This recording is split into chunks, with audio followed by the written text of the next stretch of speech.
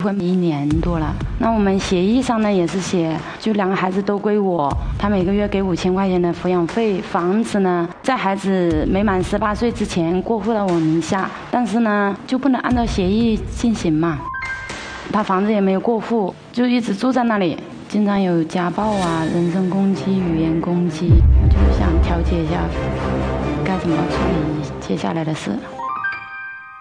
当时离婚的话，你说是奔着离婚去离婚的话，我觉得不是正确的，不是绝对的啊。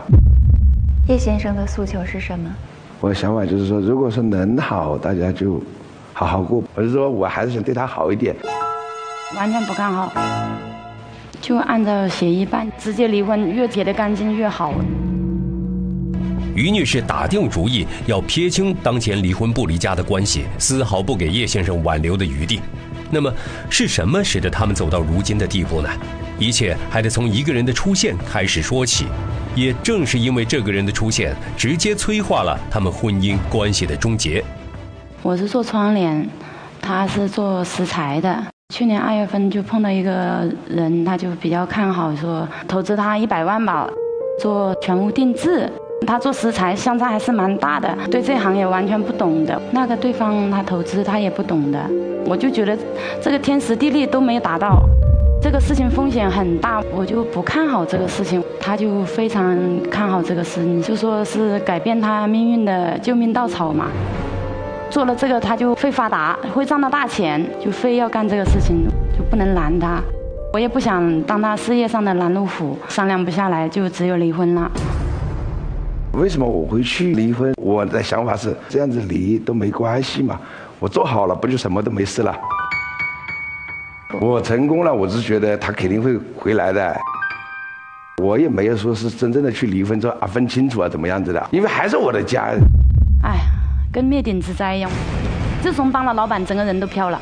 我自从知道老板不来投资，他自己跟他堂弟就搞起来了，也不跟我讲，就决定跟他直接离婚。他就是习惯性的，就是自我保护。我先是不同意的，你去做，只要有风险，只要有什么事情，他就要提出离婚的。跟我是一直是在保持着一个算计的状态。你好，我可能就不吱声；你不好，我就怎么样赶紧撇开干系。刚开始是有个老板是说要投资啊，就要一起搞。后来那个老板后面经济出了点问题，他就甚至没搞了。我一个堂弟啊。本身做设计师做了十几年的，一直在大公司里上班。我觉得他做了这么多年，然后本身这个做定制也是跟着设计有关的啊。我们兄弟自己投资了大概百把来万，年在做的时候啊，只要这些人来，他就见人就说这是个傻，怎么怎么怎么怎么样，一直是有个人在后面反对你，一直在。今年过完疫情以后，弟弟他撑不下去了，他回广州去了，就没开了。是他影响了你的发展？绝对是有影响的。于女士告诉我们，她之所以离婚，不单单只是因为叶先生这一次投资失败。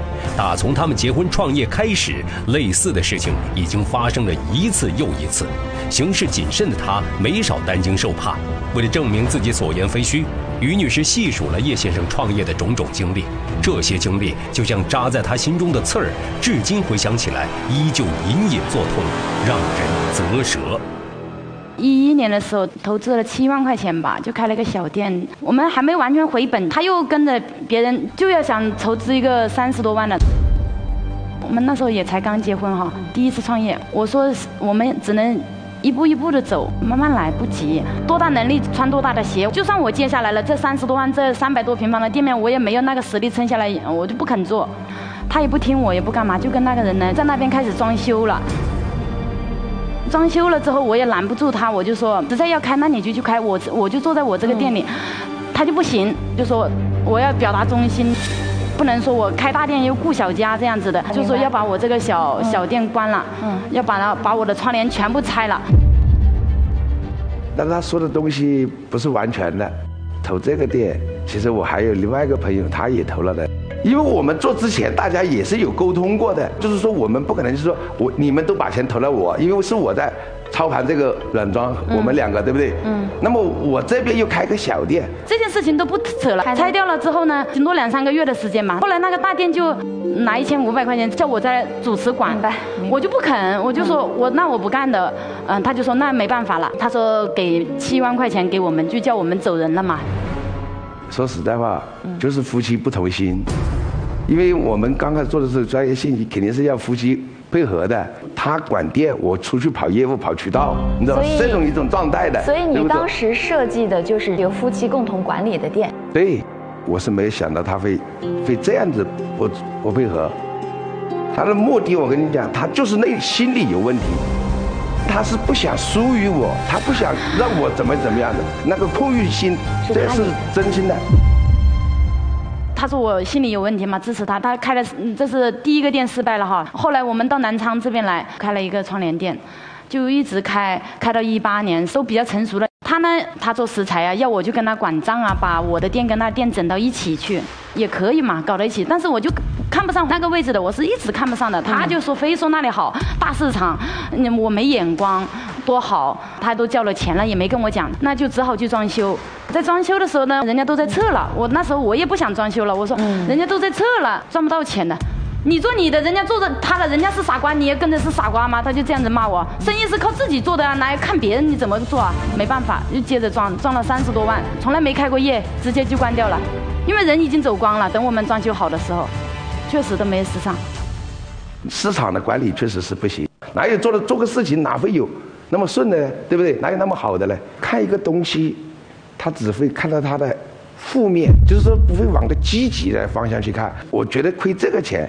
其实也并不是说就是影响到我们家里生活不还不影响。我做这，当时他关这个店，我心里在想，再搞这一次，我是绝对不会饶过他的。